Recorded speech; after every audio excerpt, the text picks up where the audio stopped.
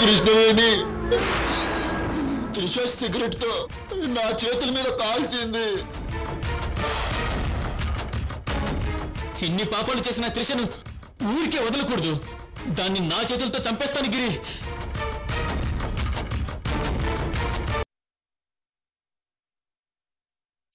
భాయ్ నేను లోకల్. ఇక్కడి దారులన్నీ నాకు తెలుసు. వంశీని వాళ్ళకు అప్పగించి నేను సేఫ్గా ఎస్కేప్ అవుతాను. మీరు నా గురించి టెన్షన్ పడకండి. సరేనా? అలాగే భవానీ.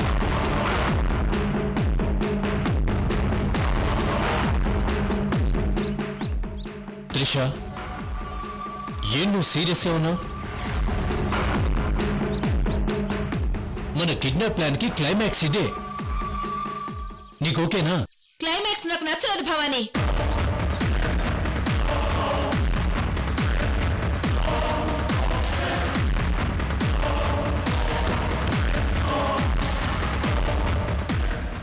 నాకు వంద కోట్లు ముఖ్యం కాదు.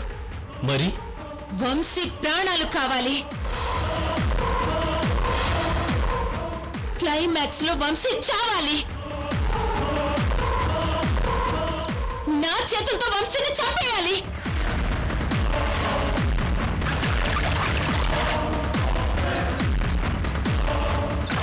కృష్ణవేణి కళ్ళ ముందే వంశీని పిచ్చి కుక్కను కాల్చినట్టు కాల్చేయాలి.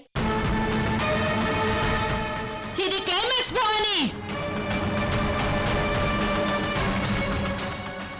త్రిష అదెలా కుదురుతుంది? అది ఇంపాసిబుల్ జిన్నా నేను వంశీని కిడ్నాప్ చేసి తీసుకొచ్చింది డబ్బు కోసం కాదు.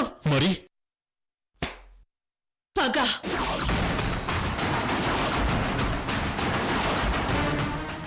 వంశీని చంపి కృష్ణవేణి మీద పగ సాధించాలని కిడ్నాప్ చేశాను. మరి వంద కోట్లు? నాకొద్దు! నువ్వే తీసుకో అంత పగుంటే వంశీని ఇక్కడి వరకు ఎందుకు తీసుకురావాలి? అక్కడే చంపేయచ్చుగా. కృష్ణవేణి నన్ను వెంటపడి వేటాడి వేటాడి ఇంట్లో నుంచి గెంటేసింది. సేమ్ టు సేమ్ ఇది నా వేట పులి వేట. క్షణ క్షణం కృష్ణవేణి టెన్షన్ పడాలి. అయ్యో పిచ్చోడు ప్రాణాలు తీస్తే పగ తీరుతుందా? వంద కోట్లు. వంద కోట్లు డబ్బు త్రిష. నాకొద్దు! నాకొద్దు!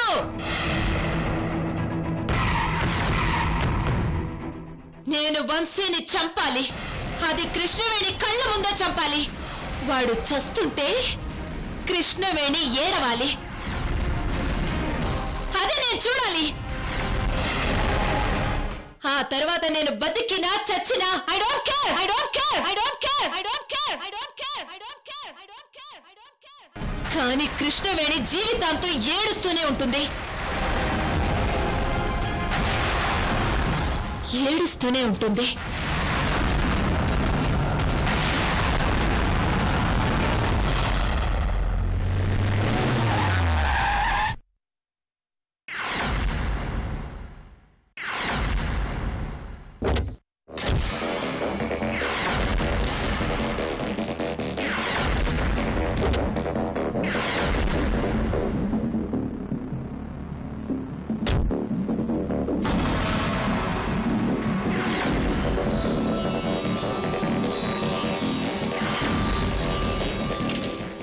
నమస్కారం సార్. నమస్తే. మీరు నాయక్ గారు కదా? అవును. నీ పేరు భాష కదూ? అవును సార్. రండి. పద.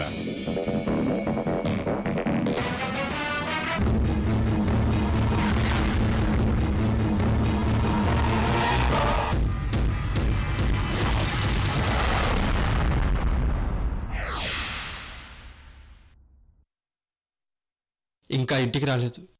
కనీసం ఫోన్ కూడా చేయలేదు సార్. చాలా ఆశ్చర్యంగా ఉంది. నిజామాబాద్ డిస్టిక్ట్ మొత్తం మా వాళ్ళతో జల్లెడి పట్టించాను. చెక్పోస్టులు కార్లు బస్సులు పెట్రోల్ ట్యాంకర్స్ ఒక్క వెహికల్ని కూడా వదలకుండా పోలీసులు చెక్ చేశారు. ఎలా మిస్ అయ్యారో?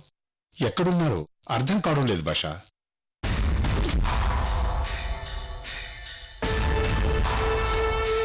మనోజ్ గారు నా దగ్గరకు వచ్చి మిస్ అయ్యారు కాబట్టి ఆయనకి ఏమైనా అయితే నాది రెస్పాన్సిబిలిటీ. అంతేకాదు నా మనుషులు కూడా చావు బతుకుల నుండి ఇప్పుడిప్పుడే కోలుకుంటున్నారు.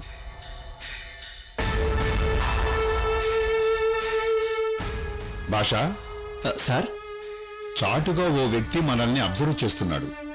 వాణ్ణి బయటికి రమ్మని చెప్పు. ఎవరు సార్? మన వెనకే ఉన్నాడు చూడు.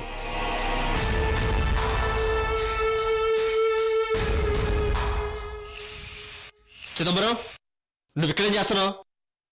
కనబడట్లే స్ప్రే చేస్తున్నాను. ఎవడ్రా నువ్వు? కొండవీటి చిదంబరం! ఏంట్రా? బయట నుంచి నన్ను ఫాలో చేస్తున్నావు? ఏం కావాలరా సాలేగా నిన్ను? సార్ సార్ సార్ కొట్టకండి సార్. ఆయన మా ఇంటికి అటాకర్. ఎవడు? వీడా? అవును సార్. ఇంత పెద్ద బంగళాకి వీడు కేరటేకర్ ఏంటి? వీడి కళ్ళు వీడి ఫేసు క్రిమినల్స్ లా ఉన్నాయి. సార్ మీరు వెళ్ళండి సార్. వెళ్ళండి సార్. రేయ్ నీ చూపులు తేడాగా ఉన్నాయి.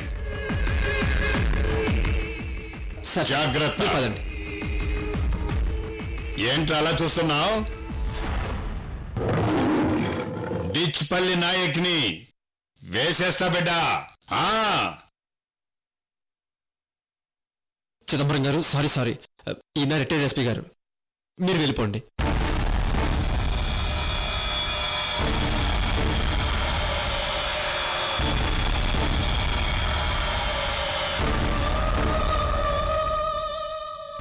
సార్ మీరు వెళ్ళి కూర్చోండి సార్.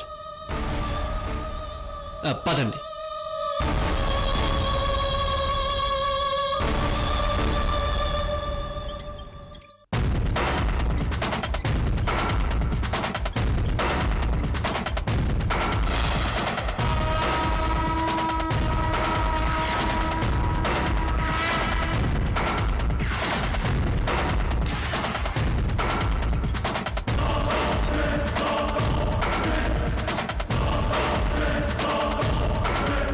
నమస్కారం అండి. నమస్తే. మీరు నేను మనోజ్ తాతయ్యని.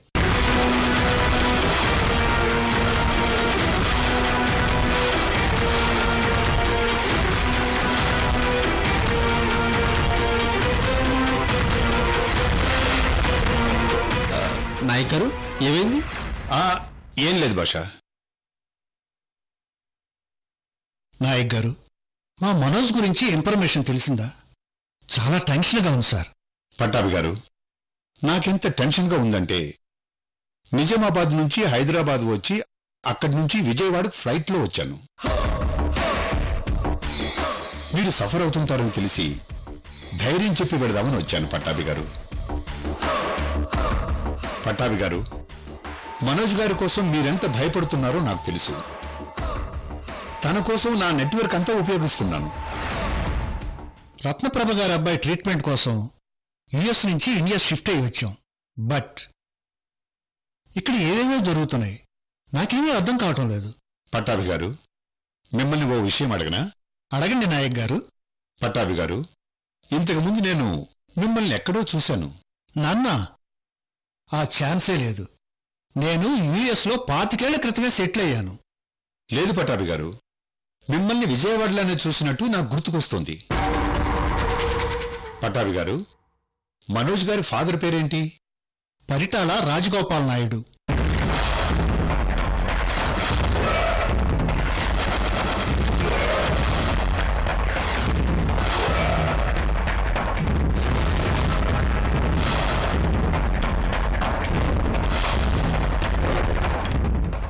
ఆ రోజు కనిపించకుండా పోయిన రాజగోపాల్ మనోజ్ గారి ఫాదర్ రాజగోపాల్ ఒక్కరేనా? నాయక్ గారు మీరేం ఆలోచిస్తున్నారు? సార్ కాఫీ తీసుకోండి సార్. తాతయ్య గారు?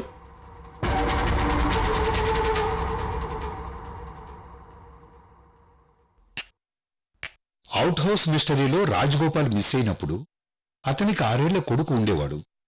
ఆ చిన్న పిల్లాడే మనోజ్ గారా? అంతా కన్ఫ్యూజ్గా ఉంది.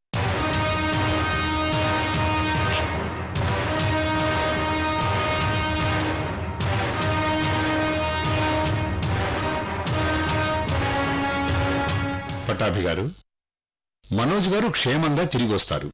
ఆ పూచి నాది మీరేం భయపడకండి. థ్యాంక్ యూ నాయక్ గారు. నమస్కారం. నమస్తే.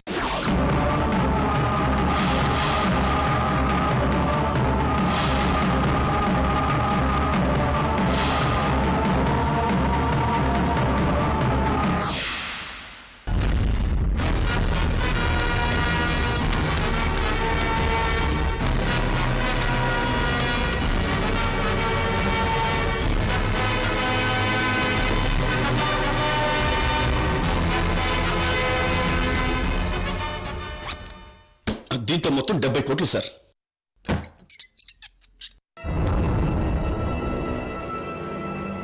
నమస్కారం సార్. నమస్తే వీరభద్రం. నువ్వు వెళ్ళి వీరభద్రం. అలాగే సార్. ప్లీజ్.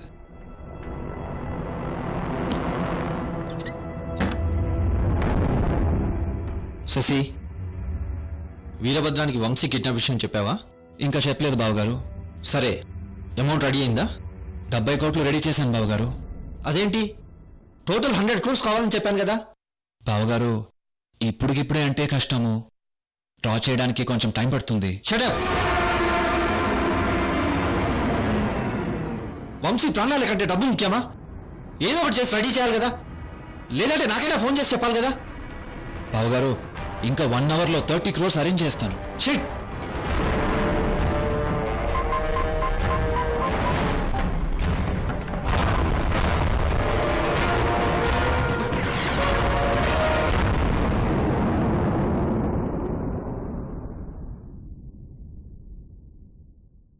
అర్జెంటుగా వంద కోట్ల. ఏమైంటుందబ్బా?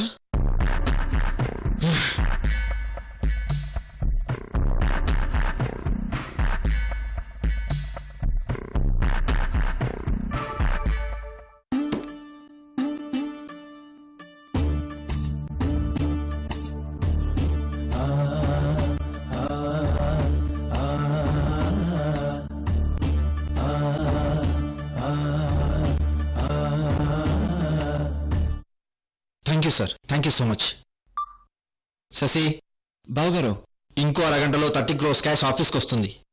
కేర్ఫుల్గా ప్యాక్ చేసి ఇంటికి పంపించు. అలాగే బావగారు.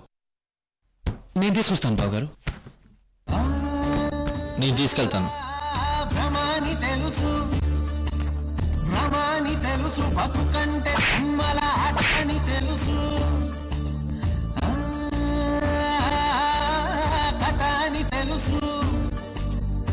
కథ అని తెలుసు. కథలన్నీ కంచికే చేరునని తెలుసు. తెలుసు తెర తొలుగుతుందని తెలుసు తెల్లారుతుందని తెలుసు ఈ కట్టె పుట్టుకుమంటదని తెలుసు ఈ మట్టి మట్టిలో కలిసిపోతదని. ఇన్ని తెలిసి రకాటంలో పడిపోతా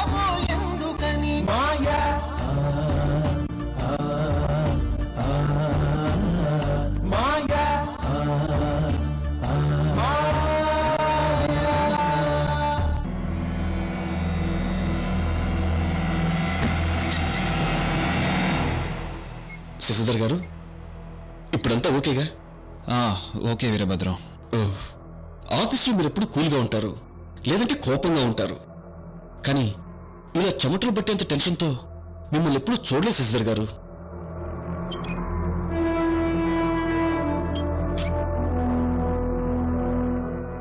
శశిధర్ గారు ఆఫీసులో ఉద్యోగం సంగతి పక్కన పెడితే మనం మనం వియంకులం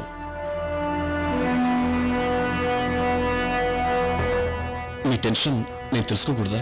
వీరభద్రం ఇది చిన్న విషయం కాదు. ఇది మా ఇంటి ప్రాబ్లం. ఇంటి ప్రాబ్లమా? సార్ మ్, కృష్ణుడి వల్ల ప్రాబ్లమా? కాదు. మరి? వీరభద్రం బావగారు ఈ విషయం ఎవ్వరికి చెప్పకూడదన్నారు. కానీ ఎంతైనా మా వంశీ మీ ఇంటి అల్లుడే కదా. మీకు చెప్పకుండా ఎలా ఉంటాను? చెప్తాను. వీరభద్రం మా వంశీని త్రిష కిడ్నాప్ చేసి తీసుకెళ్ళిపోయింది.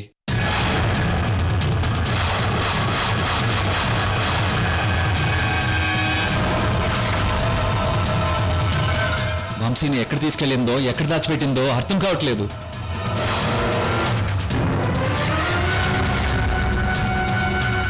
వంద కోట్లు డబ్బులు ఇస్తే వదిలేస్తానని లేదంటే చంపేస్తానని బెదిరించింది. వంశీ మా వారసుడు వీరభద్రం. మా వారసుడు.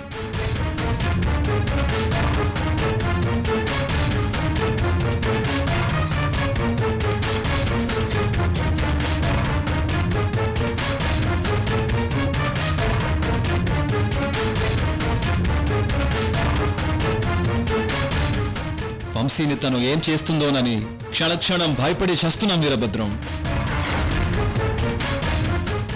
మా వంశీని కాపాడుకోవడం కోసమే ఈ డబ్బు ప్రిపరేషన్ అంతా.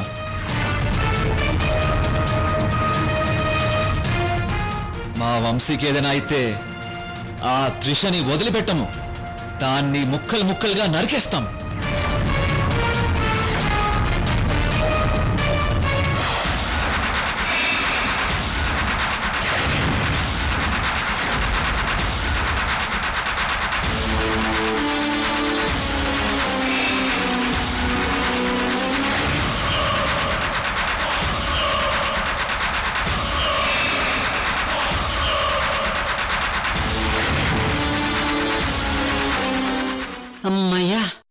అందరికీ తెలిసిపోయింది. నా కడుపు పురం తగ్గిపోయింది. వీరభద్ర నువ్వు చెప్పేది నిజమా? అవును వదినా వంశీబాబుని త్రిష కిడ్నాప్ చేసింది.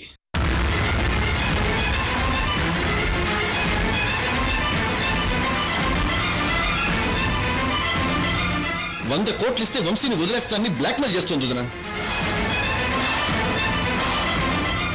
మా ఆఫీస్ పని మీద శశిధర్ గారికి ఫోన్ చేశాను నేను. అప్పుడే ఈ విషయాల్ని చెప్పాడు వదినా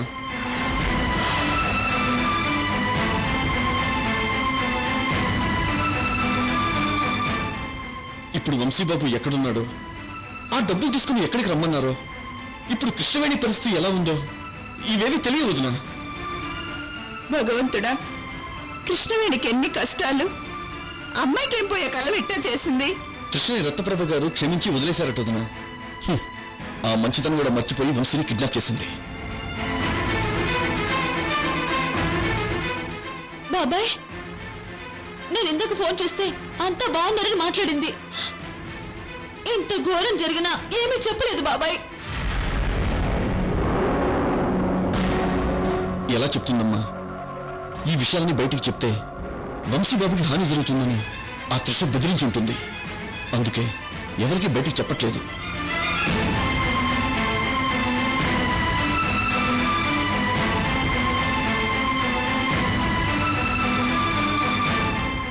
మరి ఇప్పుడు ఎలా వీరభద్ర? ఏం జరుగుతుందో ఏమో వదన శశిధర్ గారు నీ ఘోరం చెప్పగానే నేను ఇంటికి వచ్చేసాను కృష్ణమణికి ఫోన్ చేసి ఏం మాట్లాడాలో కూడా నాకు అర్థం కావట్లేదు. నాకు భయంగా ఉంది వదన.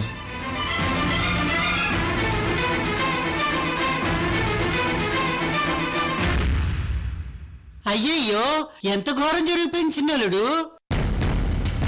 నేను కృష్ణవేణిని ఏమన్నా అంటే మీ అందరికీ కోపం వస్తుంది గాని చూడండి దురదృష్ట జాతకం కాకపోతే ఇలా ఎందుకు జరుగుతుంది?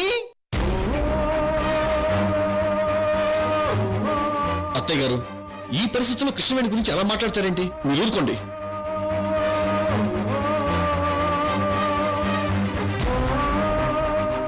వదిన పరిస్థితి ఎలా ఉన్నా వంశీబాబుని వాళ్ళు కాపాడుకుంటారులేండి. ఆ త్రిషని వదిలిపెట్టకూడదు. చంపేయాలి. ఆ నువ్వెళ్ళే పల్నాటి నాగమ్మ. నువ్వెళ్ళి ఆ త్రిషతో కత్తి యుద్ధం మల యుద్ధం చేసి నీ మరిది గారిని కాపాడి తీసుకురా. మోహన్ చూడు ఎలా ఉందో.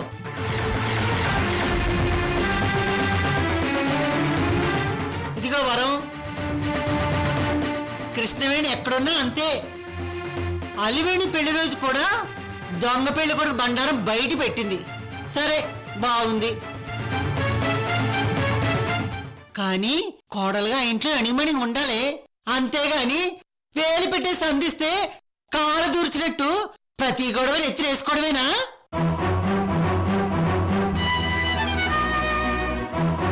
త్రిష ఇంటి కోడలైతే నీకెందుకు? కాకపోతే నీకెందుకు? తగుదునమ్మా అని ఆ పిల్ల బండారం కాస్త బయట పెట్టించింది. తన్ని తరమేయించింది. ఇంకేముంది? నిప్పుతో చలగటు. ఆ పిల్ల వంశీని తీసుకుని పారిపోయింది. నేను చెప్పేది ఏంటంటే నీ బతుకు నువ్వే చూసుకోవాలి గాని ఇంకోటి బతుకులో వేలు పెట్టకూడదు అని.